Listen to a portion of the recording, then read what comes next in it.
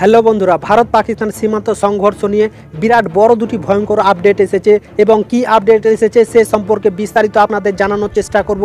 সেই জন্য শুরু থেকে লাস্ট পর্যন্ত অবশ্যই ভিডিওটি মনোযোগ সহকারে দেখতে থাকুন। আর যারা এখনও নতুন জ্ঞান ইউটিউব চ্যানেলকে সাবস্ক্রাইব করেনি তারা অবশ্যই সাবস্ক্রাইব করে বেল আইকনে ক্লিক করুন। এই ধরনের ডিফেন্ট আপডেট সবার আগে পাওয়ার জন্য। তো চলুন দেখে নিই সেই ভয়ঙ্কর দুটি আপডেট সম্পর্কে।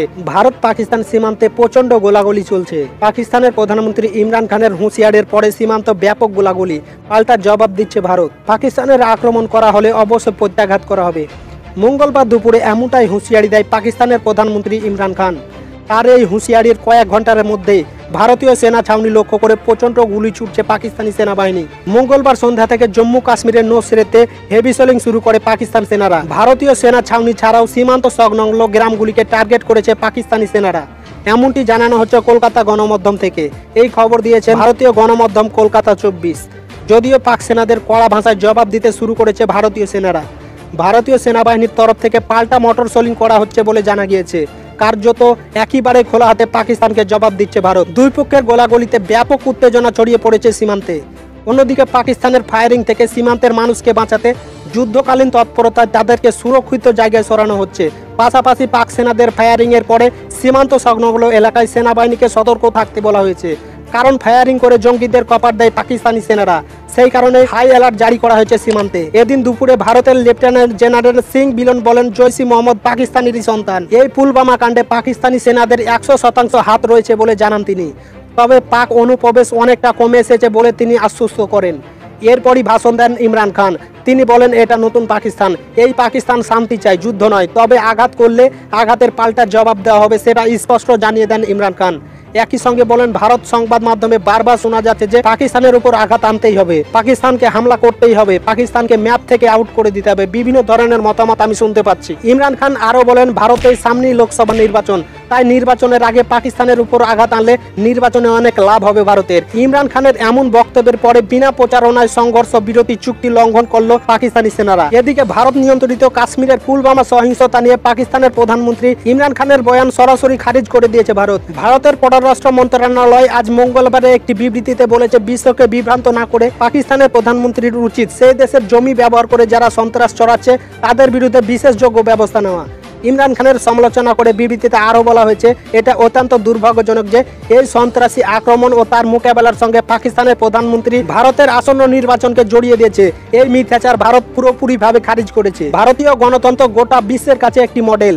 দুর্ভাগ্য যে পাকিস্তান তা কোনোদিনই বুঝতে পারবেন না। অতীতে ভারত একাধিকবার সন্ত্রাস ও সন্ত্রাসীদের রোগ শাসিসের প্রমাণ পাকিস্তানকে দিয়েছে। কিন্তু তা সত্ত্বেও পাকিস্তান কারও বিরুদ্ধে অ্যাকশন নেয়নি। ইমরান খানের প্রস্তাব, ভারত প্রমাণ দিলে তার সরকার উপযুক্ত ব্যবস্থা নিবে এবং তদন্ত করবে।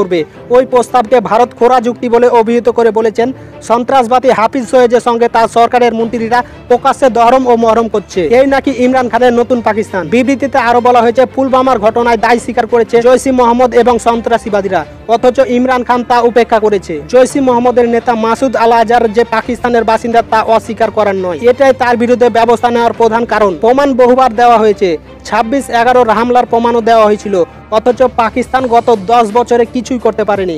ইমরান খানের আলোচনার প্রস্তাবে বলা হয়েছে, সন্ত্রাস ও হিংসা মুক্ত বাতাবরণে পূর্ণাঙ্গ আলোচনায় ভারত সবসময় প্রস্তুত। বিবৃতিতে এই কথা জানিয়ে বলা হয়েছে, পাকিস্তানের প্রধানমন্ত্রীর দাবি অনুযায়ী পাকিস্তান নাকি সন্ত্রাসীর সবচাইতে বড় বলি, এটা সত্য নয়। আন্তর্জাতিক দুনিয়া জানে যে পাকিস্তানি সন্ত্রাসীর আঁতুরঘর নার্ভ সেন্টার। বিবৃতিতে আরও বলা হয়েছে, পুলওয়ামা কাণ্ডকে পাকিস্তান সন্ত্রাসী হানা বলে মানতে চায়নি।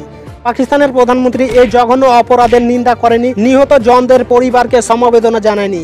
তার এই আচরণে ভারত মোটেই সন্তুষ্ট নয়। বিশ্বকে বিভ্রান্ত না করে পাকিস্তানের প্রধানমন্ত্রীর উচিত সে দেশের জমি ব্যবহার করে যারা সন্ত্রাস ছড়াচ্ছে, তাদের বিরুদ্ধে বিশেষ বিশেষযোগ্য ব্যবস্থা নেওয়া। তো চলুন এবার আমরা দেখে নিই আর পরবর্তী আপডেটটা কি। পাকিস্তান বলেছে, ভারত যদি আমাদের দিকে কুনজরে তাকায়, তাহলে ভারতের চোখ উপড়ে নেওয়া হবে। ভারত নিয়ন্ত্রিত জম্মু কাশ্মীরের পুলবামায় ভয়াবহ আত্মঘাতিক হামলার ঘটনায় পাকিস্তান, ভারত সীমান্ত অত্যন্ত উত্তপ্ত হয়ে উঠেছে।